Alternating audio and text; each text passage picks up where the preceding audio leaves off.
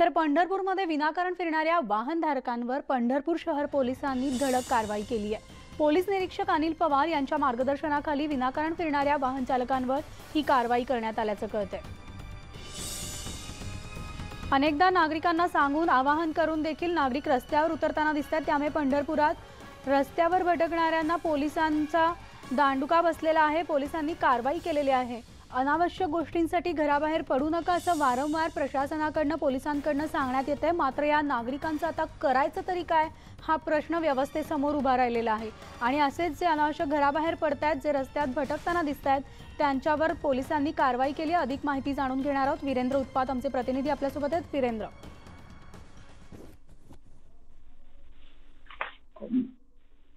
हा हॅलो वीरेंद्र आपण पाहतोय पंढरपुरामध्ये रस्त्यावर भटकणाऱ्यांना पोलिसांनी दांडुका दाखवलेला आहे कारण अनेकदा सांगून देखील नागरिक ऐकत नाहीयेत.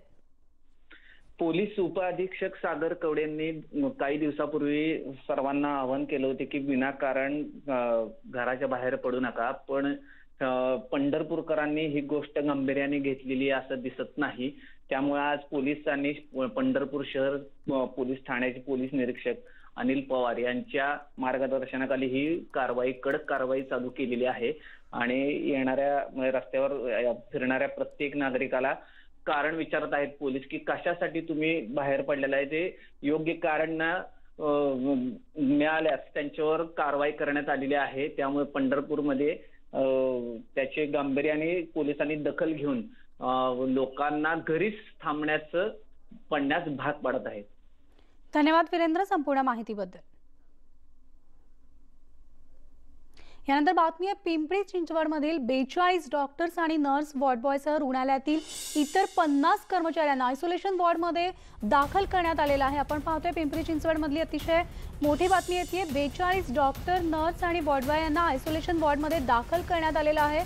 तर या सगळ्यांचे स्वॅब चाचणीसाठी पाठवलेले असून एकूण नव्वद जणांना इथं दाखल करण्यात आलेलं आहे. तर डॉक्टर डी वाय पाटील वैद्यकीय महाविद्यालयातील स्टाफ एकतीस मार्च रोजी अपघातात जखमी झालेल्या एका रुग्णावर शस्त्रक्रिया करत होते आणि त्या रुग्णाला कोरोनाची लागण झाल्याचं स्पष्ट झालं. त्यामुळे त्याच्यावर शस्त्रक्रिया करणारे डॉक्टर संपर्कात आलेले नर्स वॉर्डबॉय आणि इतर कर्मचारी यांना काळजीपोटी दात तत्काळ विभागीय आयुक्त पिंपरी महापालिकेचे आयुक्त यांनी निर्णय घेत त्यांना दाखल केलेला आहे आणि सगळ्यांची प्रकृती सध्या स्थिर असल्याचं कळतं अधिक माहिती जाणून घेऊयात. आमचे प्रतिनिधी गोविंद वाकडे आपल्यासोबत आहेत. गोविंद काय नेमकी माहिती मिळते? सगळ्यांचे स्वॅब जे पाठवलेत टेस्टिंगसाठी ते कधीपर्यंत मिळते म्हणाली खरं तर हे सगळं प्रिकॉशनरी आहे.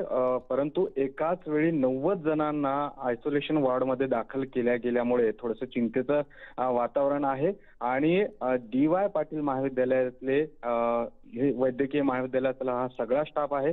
एकतीस मार्च रोजी इथे एक रुग्ण आला होता. त्याच्यावर पोटाची शस्त्रक्रिया केली गेली. मात्र दोन दिवसापूर्वी त्या रुग्णाला कोरोनाची लागण झाल्याचं स्पष्ट झालं. त्यामुळे शस्त्रक्रिया करताना ऑपरेशन करताना जे बेचाळीस डॉक्टर त्याच्या संपर्कात आले होते त्याचबरोबर नर्स वॉर्डवा आणि इतर स्टाफ जो त्याच्या संपर्कात आला होता या सगळ्यांना काळजीपोटी रात्री तातडीने दाखल केल्या गेले आणि त्यांचे स्वॅब पाठवले गेलेले आहेत आणि आता त्यांच्या अहवालाची प्रतीक्षा केली जाते. अर्थातच जर यामध्ये कोणाला कोरोनाची लागण झाली तर पुढील उपचार केले जातील. मात्र आता तरी आपल्याला जे महानगरपालिकेचे मुख्य वैद्यकीय अधिकारी आहेत अनिल. रॉय त्यांनी सांगितलेलं आहे की या नव्वद जणांची प्रकृती स्थिर आहे कोणालाही लक्षणं नाहीयेत. परंतु काळजीपोटी आम्ही हे पाऊल उचललेलं आहे. सगळ्यांना वायसीएममध्ये दाखल केलंय. महत्वाची बाब म्हणजे ज्या रुग्णामुळे हे या सगळ्यांना दाखल करावं लागलं. ज्या रुग्णांच्या हे संपर्कात आले होते तो रुग्ण दिल्ली अ, जो मरकजचा धार्मिक विधी पार पडला होता कार्यक्रम पार पडला होता त्यामध्ये सहभागी झाला होता अशी माहिती मिळतीये. यालाही दुजोरा दिलेला आहे अनिल रॉय यांनी. आणि त्याची पुढील माहिती आता ते घेत आहेत. जर तसं असेल तर अन्य काही आणखी बरोबर आहे. त्यामुळे गोविंद तिथल्या सगळ्या घडामोडी अपडेट ज्या आहेत आणखीन कोणी डॉक्टर संपर्कात आलाय का या सगळ्या घडामोडी जाणून घेत राहणार आहोत. तुर्तास धन्यवाद. तर आता दिल्लीमधील निजामुद्दीन इथं पार पडलेल्या तबलिगी जमात कार्यक्रमाला परवानगी देण्याची गरज नव्हती असं मत राष्ट्रवादीचे अध्यक्ष शरद पवारांनी व्यक्त केलंय. त्यांनी फेसबुक लाईव्हच्या माध्यमातून आज राज्यातल्या जनतेशी संवाद साधला आणि यावेळेस त्यांनी राज्यातील जनतेला केंद्र आणि राज्य सरकारनं दिलेल्या सूचनांचं योग्य पालन करण्याचं आवाहन देखील केलंय. तर यावेळेस बोलताना त्यांनी देशातील अर्थव्यवस्था वैयक्तिक अर्थकारणावर होणारा परिणाम भविष्यातील रोजगाराची समस्या यावर देखील भाष्य केलंय. आज खऱ्या अर्थानं काळजी घ्यायची याच्यानंतर दोन स्टेजेस फार महत्त्वाचे आहेत. एक संपूर्ण देशाच्या अर्थकारणावर होणारा विपरीत परिणाम आणि समाजाच्या आरोग्यावर होणारा विपरीत परिणाम. आणि या दोन गोष्टीच्यामुळं काही गोष्टी घडतील असं दिसतंय. जाणकारांनी असं सांगितलं की बरेच दिवस उद्योग बंद राहिले व्यवसाय बंद राहिले. या सगळ्या गोष्टीचा परिणाम अर्थव्यवस्थेवर होईल आणि हे निवड देशाच्याच नाही प्रत्येक व्यक्तीच्या अर्थकारणावर त्याचा विपरीत परिणाम होईल. माझ्या वाचनामध्ये आलं की रिझर्व्ह बँकेचे माजी गव्हर्नर श्वेत राजन यांचं एक स्टेटमेंट झालं.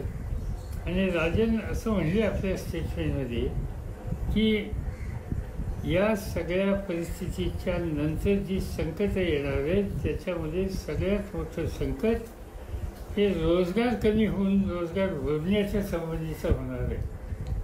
आणि ते रोजगार भरले जातील या संबंधीची जी आकडेवारी विशेषतः अमेरिकन सरकारने अमेरिकेतली दिल्लीची पाहिली तर ती धक्कादायक आहे. आणि म्हणून या सगळ्या रोजगार भरण्याच्या संबंधीची परिस्थिती आहे त्याला तोंड कसं द्यायचं? याचा विचार जाणकारांनी केला पाहिजे.